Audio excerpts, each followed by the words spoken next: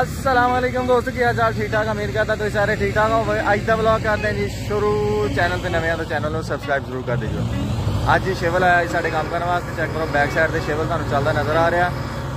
ਤੇ ਇਹ ਚੈੱਕ ਕਰੋ ਜੀ, ਸ਼ਿਵਲ ਚੱਲ ਰਿਹਾ। ਇਹ ਮਿੱਟੀ ਉੱਪਰਲੀ ਮਤਲਬ ਕਿ ਥੱਲੋਂ ਖੋਦ ਕੇ ਮਿੱਟੀ ਉੱਪਰ ਕਰਨੀ ਹੈ ਬੰਨ ਬਣਾਉਣਾ ਵਾ।